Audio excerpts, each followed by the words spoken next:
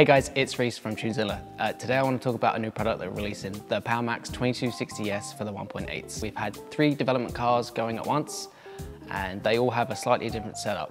Uh, so this is for the MPI system. One combination would be the 980cc injectors with an RS3 pump and a RS3 uh, fuel pump controller.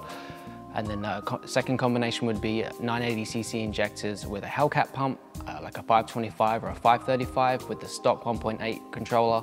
And then the third combination would be the uh, Bosch 925cc injectors with the EQT brushless pump kit. Different ways of doing it, they all get the same results. Uh, so on 93 octane, the car will make roughly around 342 uh, foot-pounds of torque to the wheels and 363 wheel horsepower. We do flex fuel as well, so uh, we saw roughly around on E55, 386 foot-pounds and 419 wheel horsepower. With our flex fuel, um, obviously the car is fully like adjustable in terms of like how much ethanol content you have. So like if you have E30, uh, the power is going to be a little bit lower than the full power that you would get from E55 and then it will go in like 10% increments from there until we get to E55. The reason that it doesn't make any more power above E55 is purely because if we push any further, you are really risking the reliability of the internals. 419 wheel horsepower is a lot for a 1.8. They're not as strong as the two liters. They have higher compression.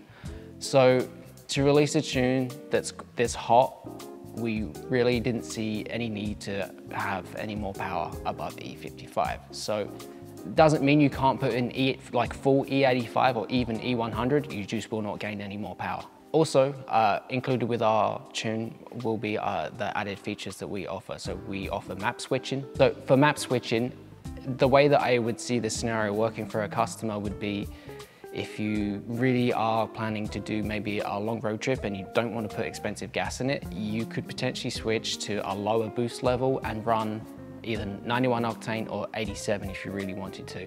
So that is a nice added bonus. Uh, if you own a manual car, there'd be launch control as well. Uh, obviously DSGs have launch control, but uh, the, I kind of want to talk about the launch control for the manuals a little bit more. As you may have seen in our little teaser clip that it's quite rowdy for the manuals um, and it's user adjustable in terms of the RPM that you want to launch at. So the tune is available now.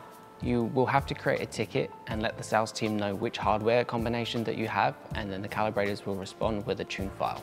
We've spent quite a long time on this tune and we're really, really happy with the results. The, the power is super impressive. The cars are, well this one in particular is actually quite scary to drive. Uh, and we're happy to release this tune and share it with everyone. We're super excited. Uh, we spent uh, a lot of time on not just like peak numbers, but the drivability and making sure that the flex fuel works and the customers don't have a, you know, a bad experience with any kind of weird limp modes. Uh, so if you are interested in any more information on the hardware that's required for this or the hardware that we've used or the beta cars have, have used, uh, check out our website, which is tunezilla.com.